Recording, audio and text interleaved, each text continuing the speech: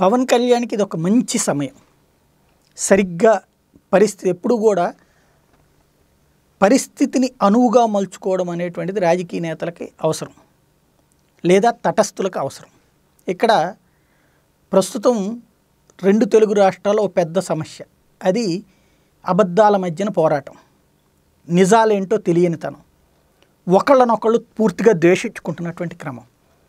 Telugu Desam party దుర్మార్గమైనటువంటి party data చౌర్యాలు అక్రమాలకు పాల్పడుతోందని చెప్తున్నది YSR Congress party. YSR Congress పార్టీని అక్రమాలకు పాల్పడుతోందన్నది తెలుగుదేశం పార్టీ. ఈ ఇద్దరూ కూడా వాళ్ళ గురించి కొన్ని ఆధారాలు వీళ్ళు వీళ్ళ గురించి కొన్ని ఆధారాలు వాళ్ళు. ఇంకో పక్కన కుట్ర కుతంత్రపు సిద్ధాంతాలు. ఇవన్నీ కూడా ఒక రగిలిపోయేటువంటి సందర్భం. ఛీ ఇదేం రాజకీయం అనేది ప్రజలకు ఒక అసహ్యం పుడుతుంది. ఒకటి ఒక హోదా అంశంలో పోరాటాల దగ్గర నుంచి చూసుకుంటే తర్వాత ఈ ఓటుకి కోట్లు కేసులు చూసుకున్నా రెండో ప మూడో పక్కన ఇట్లాంటి వ్యవహారాలు చూసుకున్నా ఏది చూసినా ఇరవై నాలుగు గంటలు ఒక విరక్తి కలిగించేటువంటి రాజకీయం నడుస్తుంది. కానీ ప్రత్యామ్నాయం కనిపించినటువంటి పరిస్థితి. ఆ ప్రత్యామ్నాయంగా వచ్చినటువంటి పవన్ కళ్యాణ్ ఇప్పుడు సీరియస్గా ఎఫర్ట్ పెట్టాల్సినటువంటి సందర్భం. తను యాత్ర మధ్యలో బ్రేక్ ఇచ్చి మళ్ళీ యాత్ర చేసుకుంటూ వస్తూ ఉన్నారు.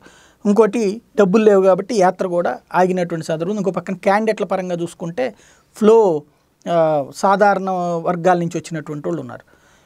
ఇప్పుడు ఏదైతే రెండు వేల పద్నాలుగులో ఆవేశంగా పార్టీ పెట్టడానికి ప్రధానమైన కారణమైంది విభజనకు సంబంధించినటువంటి సమయంలో ఉద్రేకం ఏది అన్యాయం చేస్తా చేస్తున్నారు అన్నట్టు ఇవాళ అదే ఉద్రేకం ఆంధ్ర రాజకీయాలలో వస్తున్నటువంటి అసహ్యకరమైనటువంటి రాజకీయం. అది చేస్తే ఇద్దరిని టార్గెట్ చేసుకుంటూ స్ట్రైట్ ఫైట్ జరగాలి. స్ట్రైట్ ఫైట్ చేసి ఇద్దరికి సంబంధించి చెప్తూ తనదేంటి అనేది పరిష్కారం కూడా చూపెట్టాలి. రోజు ఈ వివాదాలు రోజు ఈ గందరగోళం ఇప్పుడు ఆంధ్రాలో ఉన్నటువంటి అనేక మంది ప్రజలకు సంబంధించినటువంటి వాళ్ళ కుటుంబాలకు సంబంధించిన వాళ్ళు హైదరాబాద్లో ఉద్యోగాలు చేస్తున్నారు. కాబట్టి తెలంగాణతో గొడవ పెట్టుకోవాలని ఆంధ్రాలో ఉన్నటువంటి ప్రజలు కోరుకోవట్లేదు. అదే సందర్భంలో తన రాజకీయం కోసం ఆంధ్రప్రదేశ్లో ఉన్నటువంటి ఇది ఆంధ్ర తెలంగాణల మధ్య వివాదం కింద మార్చకుండా తెలుగుదేశం పార్టీ కూడా ఉండటం సాధ్యం కాదు. అదే సందర్భంలో తెలుగుదేశాన్ని ఇరకాటంలో పెట్టకపోతే భవిష్యత్తులో మళ్ళీ తమకు థ్రెట్ అవుతుందని చెప్పేసి ఏదో ఒక విధంగా వైసీపీని గెలిపించడం కోసం ఎత్తుగడ వేసేందుకు తెలంగాణ రాష్ట్ర సమితి ఆగకుండానే ఉండదు. ఇట్లాంటి సందర్భంలో ప్రజలకి ఇంకొకటి నిజాలు నిమిషానికి ఒక మాట మార్చేస్తున్నటువంటి వ్యవహార శైలి మీడియాలో వచ్చేటువంటి ప్రయ ఇది కానీ ఫ్యాక్ట్ ఒకటి ఉంటుంది ప్రాక్టికాలిటీ ఒకటి ఉంటుంది. ఇట్లాంటి సందర్భంలో ప్రత్యామ్నాయం అనేటువంటిది మాటలతో పాటుగా ఖచ్చితంగా ఇదిగో విద్య ఉంది. మనం చెప్పారు ఫ్రీ ఎడ్యుకేషన్ ఫ్రీ హెల్త్. ఇదిగో ఇలా ఇస్తాం. కార్పొరేట్ ఆసుపత్రులన్నింటినీ మేము తీసుకుంటాం. వాటికి గవర్నమెంట్ డబ్బులు కడుతుంది.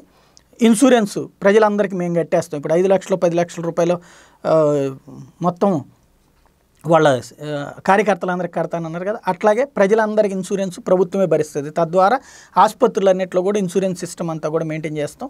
ఇంకోటి కేంద్ర ప్రభుత్వ స్కీమ్ ఉంది దాంతో చేస్తాం. ఇంకో పక్కన ఎడ్యుకేషన్ సంబంధించి కార్పొరేట్ ఎడ్యుకేషన్ హ్యాండ్ ఓవర్ చేసుకుని ప్రజలు ఎంత కడతారో దాన్ని విరాళంగా తీసుకుంటాం. దాంతో లేదు కార్పొరేట్ శక్తులందరినీ కూడా విరాళాలు ఇవ్వమంటాం. దాంతో కార్పొరేట్ విద్యలోనే ఉంచి వాళ్ళకి కష్టం లేకుండా చేస్తాం. అట్లాగే ఇవాళ ఈ వివాదాలు లాంటి ఏది మంచినీళ్ళ సమస్యని ఇట్లా పరిష్కరిస్తాం. లేదు గొడవలు ఏం రాకుండా ఇట్లా చూసుకుంటాం. శాంతి భద్రతలు ఈ కోణంలో కాపాడతాం. ఆడపిల్లలకు సంబంధించి ఏదన్నా జరిగితే కనుక ఇట్లా చేస్తాం. ఇది ఒక సిస్టమేటిక్ ప్లాన్ చేసి ప్రజల్లోకి వెళ్ళి ఇదిగో ఈ రాజకీయం కాదు. ఇలా మా మాదైతే ఇది ప్రత్యామ్నాయం. ఇంకా డిసైడ్ చేసుకోండి అని చెప్పి బలంగా వెళ్ళగలిగితే ఒక గట్టి ఫోర్స్ అవుతుంది. మరి అట్లాంటి ప్రయత్నం ఇప్పుడు జరుగుతుందా లేదా అన్నటువంటి దాని మీద భవిష్యత్ రాజకీయం ఆంధ్ర రాజకీయం పవన్ కళ్యాణ్ రాజకీయం కూడా ఆధారపడి ఉంటుంది. ఏం జరుగుతుందో చూద్దాం.